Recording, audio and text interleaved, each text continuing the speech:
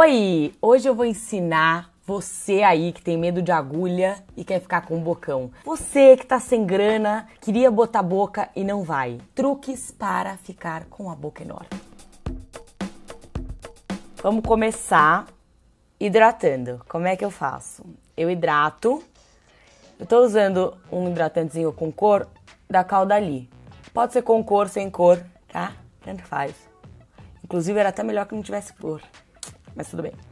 Eu passo ele e deixo hidratando pleno enquanto eu faço o resto da make, tá? Então isso aqui é só figurativo, porque eu vou tirar para mostrar os passos com lápis de boca. Que aí é que tá o truque, galera. Deixei hidratando, tá? Vamos supor que a boca tá super hidratada. Daí você tira o excesso pro lápis colar na tua boca. Porque se você tiver com a boca muito cheia de, tipo, vaselina e tal, o lápis ele escorrega. Você pega, eu tô com dois tons de lápis. O que, que eu vou fazer? Eu vou pegar esse daqui mais escuro e vou fazer o contorno. Quem gosta daquela vibe de contorno esfumado, pode esfumar também, tá? Uma vibe mais moderna. Tava me pegando ali na esquina com um mocinho e o batom borrou. É essa vibe de quem gosta de esfumar. Uma dica importantíssima: aponte o seu lápis. Olha só um minuto. Fica difícil de passar o lápis sem ponta, né? Linda. Esse é da Makeup Forever. Inclusive, os dois são da Makeup Forever. Sim, os dois que eu vou usar. Passa no limite da boca. Eu não gosto quando a gente passa lápis para fora da boca, porque eu acho que fica muito artificial. Dá para perceber onde a sua boca acaba, por mais que você passe um monte de maquiagem. Então, esse é um truque para ficar natural para não ficar aquela coisa ultrapassando a linha da boca. Mas você vai ficar com uma boca maior.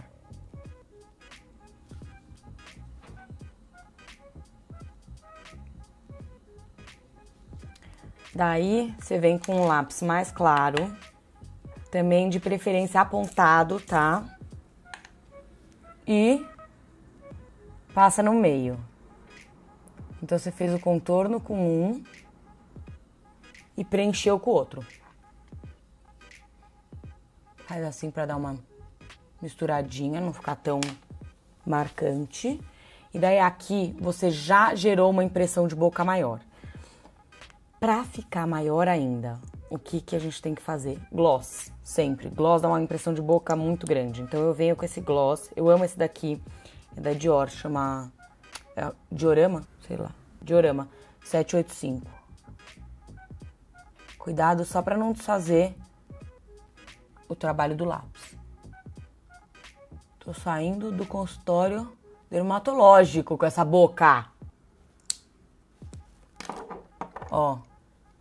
Já deu um mega chance. Daí eu vou ensinar mais uma coisa que não é na boca, mas que também ajuda a parecer maior. Pega um iluminador. Vou pegar um clarinho. Acho que é esse daqui. Esse daqui é da Tarte. Eu vou pegar esse. Aliás, é muito bom isso aqui, é bom ter. E ó, um pouquinho de iluminador no bico. Aqui. Quando bate o flash, outro pouquinho aqui. Bem sutil. Quando bate o flash, sua boca parece maior ainda. E aí está a minha dica para ficar com bocão. Eu faço isso quase toda make.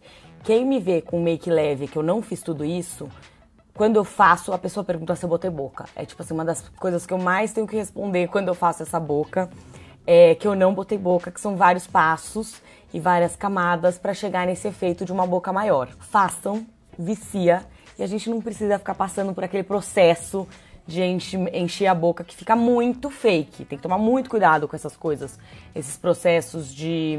Como é que chama isso? Ácido hialurônico, sei lá. Eu acho que fica muito fake. Então, isso daqui é um jeito de você ter uma bocona um dia assim, mas depois você consegue ficar mais natural no dia seguinte e com uma boca mais, mais normal, tá? Espero que vocês tenham gostado. Beijos e até a próxima.